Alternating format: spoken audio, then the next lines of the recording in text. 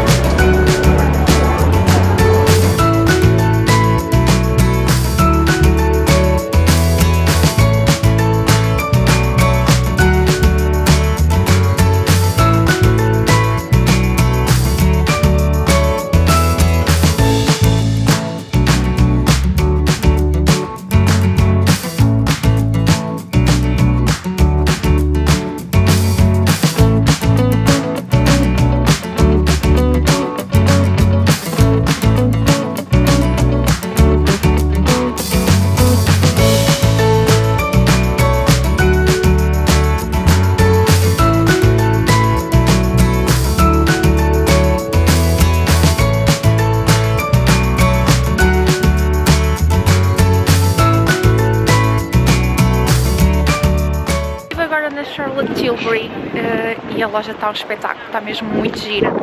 É pequenina, mas tem tudo assim, é bonito e muito organizadinho. E agora vou a uma loja que fica mesmo aqui ao pé da Charlotte Tilbury, que tem coisas de escritório, assim, coisas de papel, caderninhos, e é super gira a loja. Eu tinha visto um, na internet, ainda não tinha vindo aqui, mas é super gira. Eu vou-vos mostrar agora algumas coisinhas.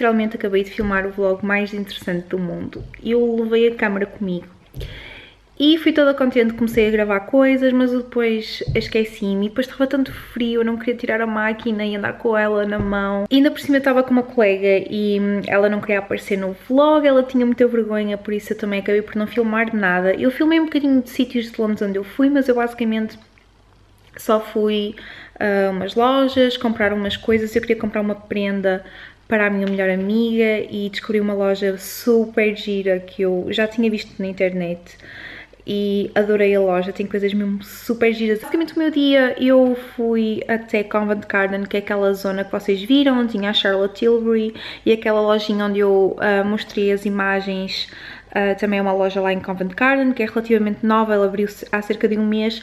E eu perguntei lá na loja e eles no seu website, um, eles enviam para Portugal também. Não sei se vocês têm que pagar portes, eu acho que provavelmente têm que pagar portes, mas eu vou-vos deixar o link da loja uh, na caixa de descrição, porque tem coisas mesmo lindas de morrer. E eu vou-vos mostrar então aquilo que eu comprei na tal lojinha que eu vos disse. Isto é, é para oferecer, eu vou-vos mostrar. Então, a primeira coisa que eu comprei foi este género de diário, que basicamente este é um diário de gratitude, ou seja, vocês um, abrem e basicamente vocês todos os dias escrevem três coisas de que vocês estão gratas, na vossa vida. Eu tenho um diário destes também, mas é diferente deste, mas a intenção é a mesma, que é o do 5 Minute Journal. Depois comprei também, um, isto é um género de um, cartõezinhos que vocês têm e que vocês podem pôr neste suporte de madeira assim, mas eu por acaso vou colocar uma moldura.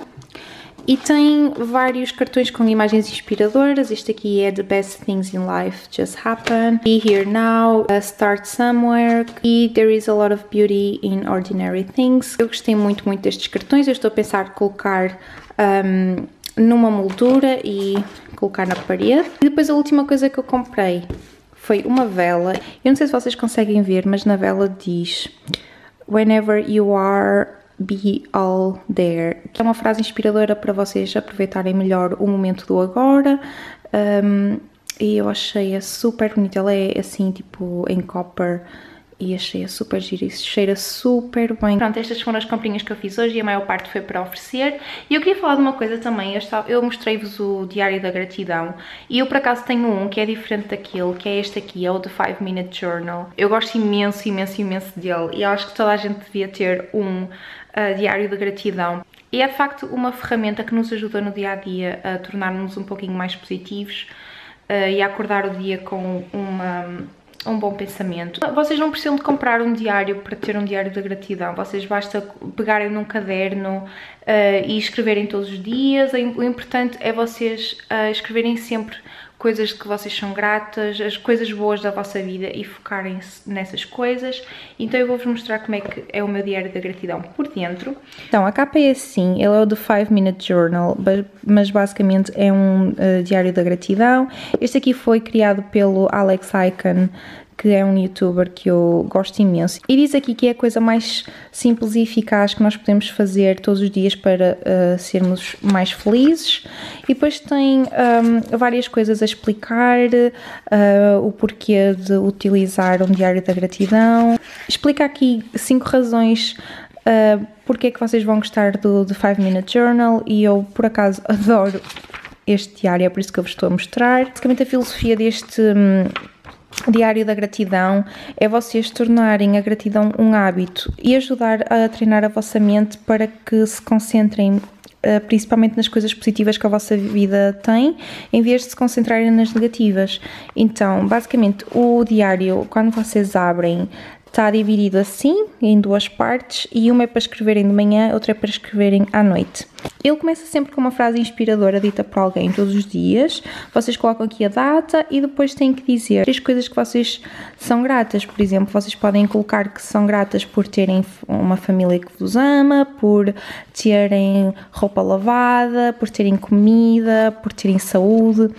Três coisas que vocês acordem e pensem que uh, são boas na vossa vida. Depois vocês colocam aqui três coisas que podiam tornar o vosso dia fantástico. Aqui vocês colocam uma afirmação vossa, pode ser um, um lema vosso, pode ser uma frase que diga como é que vocês se sentem hoje. E depois à noite, antes de vocês irem dormir, vocês têm que colocar três coisas fantásticas que vos aconteceu hoje. Pode ser uh, um elogio, terem comido alguma coisa que vocês gostaram e como é que vocês poderiam ter tornado o dia melhor. Um, eu gosto muito deste diário, é, funciona como uma reflexão vossa do, do vosso dia e ajuda-vos muito a pensar nas coisas boas que vocês têm, nas coisas boas que aconteceram no vosso dia. E pronto, este foi o meu The 5 Minute Journal. Espero que vocês tenham gostado da minha pequenina review. Eu já estou há muito tempo a fazer um vídeo em que vou falar uh, deste, um, deste diário, porque acho que ele é fantástico e quem sabe eu faça um mesmo a falar mais exaustivamente sobre ele. Estou agora aqui a fazer um chá, que é um chá que eu já comprei há imenso tempo e esta porcaria está quase a passar do prazo de validade e eu acho que vou mesmo ter que fazer, que é este aqui, que é um, 14 dias detox. Eu comprei isto há mais de um ano e tipo, eu não sei, mas acho que está quase a passar do prazo de validade. E o prazo de validade é janeiro de 2016, por isso eu tenho que o consumir urgentemente porque já estamos em janeiro de 2016. Apesar de eu achar que não preciso de uma detox, vou fazer a mesma porque eu comprei, não é? Vocês já alguma vez experimentaram um chá detox? Vai ser a minha primeira vez e vamos ver como é que está a correr. Pronto, o chá é este.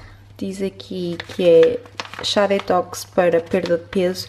Eu não quero perder peso, por isso é que eu nunca um, bebi este chá, porque eu na altura pensei que ele era apenas para fazer detox.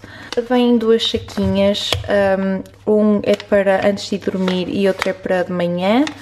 Eu estou agora aqui a fazer aquilo que é para antes de dormir e vou provar e já vos digo se ele é bom ou não. E yeah, por acaso o chá é bem da bom. E pronto, eu termino agora aqui o vlog. Sinceramente deve ter sido o vlog mais desinteressante da história dos vlogs. E eu peço desculpa se vocês perderam tempo do vosso dia a ver este vlog completamente inútil, mas eu espero melhorar nesta cena dos vlogs. Portanto, um beijinho para todos e que tenham uma boa semana.